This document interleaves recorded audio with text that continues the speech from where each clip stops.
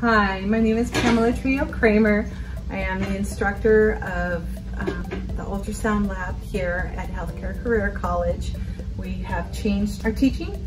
We are now doing simulations with a ScanTrainer and BodyWorks. We've reduced our scanning abilities from 12 units down to five to allow for safety, personal social distancing. We've also changed that where students now we'll be using our state-of-the-art scan trainers and a BodyWorks Eve to learn how and practice their skills. But what's great about these simulators is that they actually get experience scanning pathology. They are actually real-time scanning. They offer feedback as far as how, how hard you're pressing.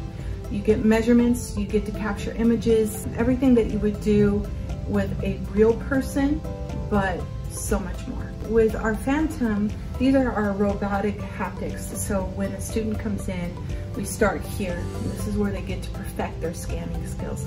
Once they've mastered their scanning skills, then we move on to BodyWorks Eve, where you're actually scanning on a Phantom. What's great about BodyWorks Eve is that as the instructor, I can control the pathologies that show up in the body. So the student never knows what is actually going to be happening with that particular patient. We have over 3,000 case studies that are available with BodyWorks Eve. With the COVID lab protocol, we have five designated spaces that are lined out. Only one student is allowed in a well over 10 foot square. So we are providing more than the required six foot distance for social distancing. Every student is required to wear a mask. And then of course we have all the disinfection and everything that happens in between each student as they come in.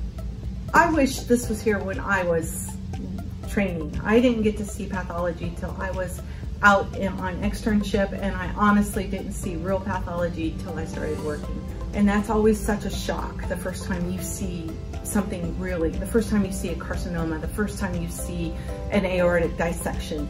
Um, and it's better to learn it here, to experience it the first time in lab.